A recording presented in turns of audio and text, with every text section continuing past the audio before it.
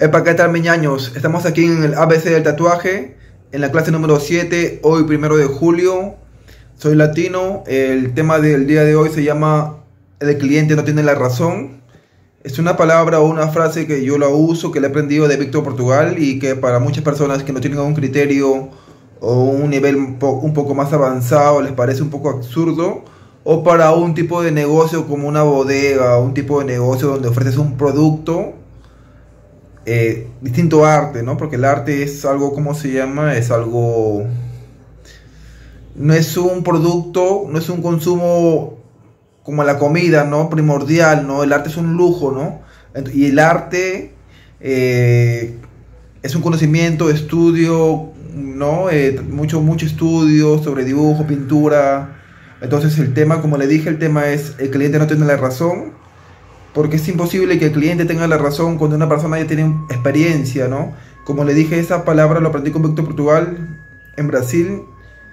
Y en ese tiempo, bueno, ya han pasado aproximadamente, aquí tengo el workshop, a ver, aquí tengo el workshop de Víctor Portugal, ya han pasado, fue el 2015, entonces ya han pasado seis años donde también yo he agarrado madurez como artista, eh, ¿no? No solo hacer un curso, un workshop, son años de experiencia, práctica, trabajo, realización, estudios, son muchos factores, ¿no?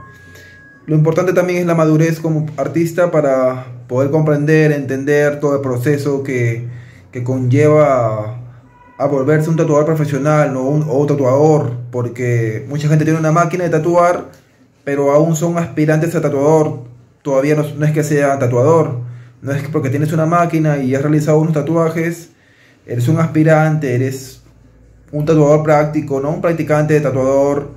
Un tatuador para mí ya profesional, alguien que se llame tatuador es una persona que puede resolver cualquier tipo de problemas según estudio, en cualquier tipo de diseño, ¿no? Te pasa un trabajo y tú puedes resolverlo porque tienes la capacidad de ya de resolver cualquier estilo, se podría decir, o no, un estilo específico, pero bien hecho, bien elaborado, desde que es el dibujo original, diseñarlo, crearlo, ¿no? De poner el color, todo, ¿no? Todo el proceso de un tatuaje profesional, incluido lo que es bioseguridad.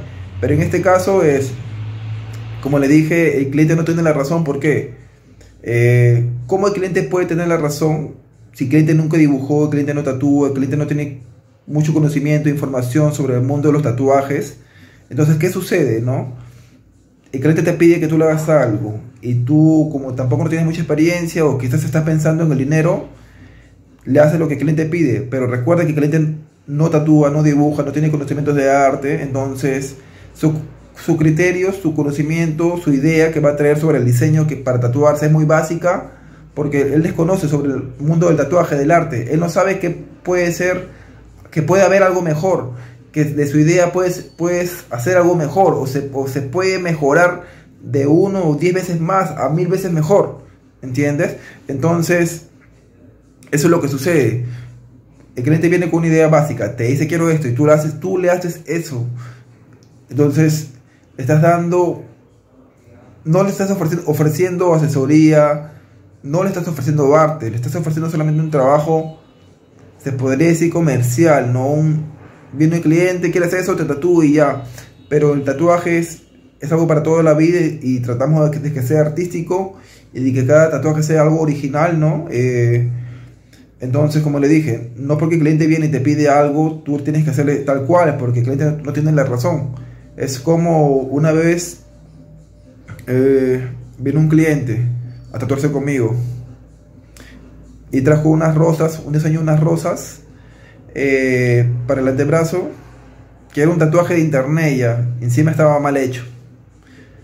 Yo le dije que no podía hacerlo, entonces, pero como no comprende arte, lo que pasa es que para comprender sobre arte hay que tener, hay que ser culto. No cualquiera va a comprender sobre arte.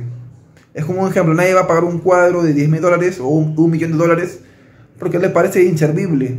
Solamente una persona que tenga conocimiento, tenga cultura sobre arte, va a entender su valor. Entonces, como le dije, vino un cliente con una, que le quería hacerse unas rosas en el antebrazo, un tatuaje de internet encima mal hecho, y yo le dije que no se podría hacer eso, que le iba a hacer otras rosas, parecía las mismas posiciones, pero otras. Hay que agarrar unas rosas, unas referencias de internet real y no, y, y ¿cómo se llama? Agarrar una referencia real y plasmarlas de nuevo al tatuaje y a la piel, ¿no? Pero no se puede hacer, yo no puedo hacerle algo que está mal hecho porque el cliente me lo está pidiendo, porque él desconoce, porque para él le puede parecer excelente, porque como hay varios clientes que piensan que todos los tatuadores son iguales o no, o no tienen el ojo para percibir quién es mejor. Como el otro día una amiga me dijo, no, una amiga, una cliente, me dice, eh, Latino iré a otro estudio, ¿cómo se llama? A que me haga un trabajo más artístico, ¿ya? O sea, yo no lo he tatuado, lo ha tatuado un colega, eh, ¿no? Entonces, como le dije, ella también me, conoce, me conoce a mí, ¿entiendes? Me conoce a mí, pero no puede percibir que yo soy mejor que el otro, que el otro tatuador, donde ella va a ir, ¿entiendes? O sea, ella está tatuado como amigo. Y dice que va a ir a otro lugar a buscar un trabajo más artístico. ¿Por qué? Porque, ¿no? Ella no puede percibir, su ojo no percibe que yo soy mejor. Y no es que se trate de egocentrismo, ¿no? O de decir yo soy mejor. Porque hay gente en, en este mundo, hay gente mejor que uno y, peor que uno, ¿entiendes? Pero en este caso yo soy mejor que él. Como yo acepto que hay gente mucho mejor que yo, que está muy lejos de mi nivel, ¿no? Que para avanzar y llegar a ese nivel hay que trabajar mucho, ¿no?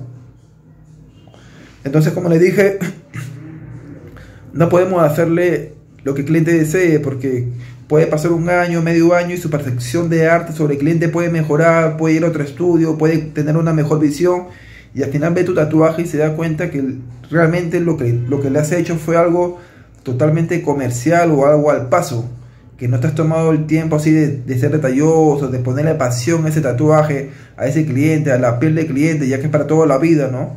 Entonces, como le dije, eh, el cliente no tiene la razón porque no dibuja, no, pin, no pintes como ir a un dentista y tú le digas qué mola tiene que sacarte, o, o, vayas a un médico y le digas córtame aquí, córtame allá, pero tú no eres doctor, entonces nunca el cliente va a tener la razón. A cosa que sea para gente que vende ropa, otro tipo de ventas, no sé, que ahí se mueren por los clientes. O sea, que lo que el cliente diga se va a hacer, pero en este caso no, tú no puedes hacer lo que el cliente dice porque vas a hacer algo mal hecho y tú no puedes hacer algo mal hecho, tú tienes que hacer lo mejor de tu experiencia, lo mejor de tu conocimiento, lo mejor de ti para el cliente. Y si el cliente no entiende, entonces, como le dije, es mejor no hacerlo.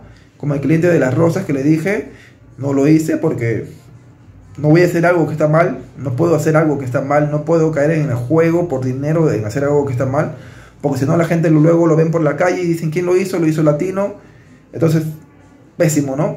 Eh, bueno chicos, como le dije, ya sabe, Siempre usen su percepción de arte, su conocimiento de arte, su criterio de arte como artista y no se dejen llevar por el dinero. No hagan las cosas rápido, comercial o al paso. Denle al cliente lo mejor, de lo mejor, de lo mejor. Que créame que el cliente se lo va a agradecer y eso va a ser recomendación, recomendación a otro cliente. Y no, eso, ¿no? Como le dije, eduquen también al cliente porque el cliente no tiene cultura sobre tatuaje y usan términos incorrectos porque el tatuador también usa términos incorrectos como queloide, tinta, cuando en realidad se llama pigmentos, no tintas, eh, en el tatuaje al menos, queloide cuando mayormente se, es una cicatriz hipertrófica y casos por el estilo, un mal cuidado del tatuaje, también ni siquiera saben cuidarse, ni siquiera saben que tienen que usar crema, imagínense. Entonces por eso el tatuador, el tatuador tiene que educarse, tiene que capacitarse porque hoy en día hay profesores, hay maestros, y no ser un mediocre que tiene tiempo y dinero para gastarlo en mujeres, en alcohol, en paseos, en otra cosa, pero no en invertir en su nivel cultural, no en su conocimiento artístico, para no crear un público ignorante, en un público mediocre, porque cuando hay un mejor público, consigues hacer mejores trabajos, porque el cliente te va a pedir mejores trabajos, mejor trabajo más artístico, y vas a poder avanzar en este mundo como artista. Si estás realmente en esto como como artista y no como negocio. Porque si es como negocio, está bien lo que estás haciendo. Vas a quedarte en el mismo lugar toda la vida, no vas a avanzar y está bueno, estás haciendo dinero en un momento. Pero los que queremos hacer arte tenemos que poner mucho criterio y tenemos que hacer lo mejor de uno. Uno es el que conduce el carro, uno sabe lo que va a hacer mejor. No se puede hacer lo que el cliente quiere porque sí. Bueno, eh, sin nada más que contarles, sin nada más que decirles, espero que esta clase les haya aportado y recuerden que también para tener ese criterio de que el cliente no tiene la razón, eso no lo va a decir un novato de medio año, un año, dos años, tres años. Hay que tener mucha experiencia para decir eso, hay que saber lo que estás haciendo, hay que tener mucho criterio porque tú estás conduciendo en ese momento, tú eres el profesional. Pero si no, entonces hermano, eh, limítate a decirlo porque si no, imagínate, ¿no? Si estás cerrando y vas a decir eso, que, el cliente no tiene razón, vas a parecer como un loco. Bueno, eh, meñañitos, y nada más que decirles, espero que esta clase les haya aportado. Ya saben, compártanlo, dale like. Ya saben que las clases son gratuitas, pero al menos YouTube me, puede, me paga eh, por vistas, por like, por comentarios. Entonces, si te gustó, dale tu like, dale un comentario, compártelo. Que de esta manera yo puedo tener una pequeña remuneración por este conocimiento que les brindo gratuitamente para que así tengan una mejor visión de panorama del tatuaje y lo que es ser profesional, ¿no? Ya tengo actualmente unos dos años de experiencia, he trabajado en todo el continente con muchos artistas de los mejores del mundo y de Latinoamérica. Entonces, estos tips, estos consejos yo les paso para que les haga el camino un poco más fácil, porque realmente ir solo por el camino, avanzar y con gente muy egoísta, es complicado avanzar. Chicos, sin nada más que decirle, tengan ahí un buen día, excelente día y pongan, apliquen todo el conocimiento que tengan en cada tatuaje. Vibras ahí, buen día.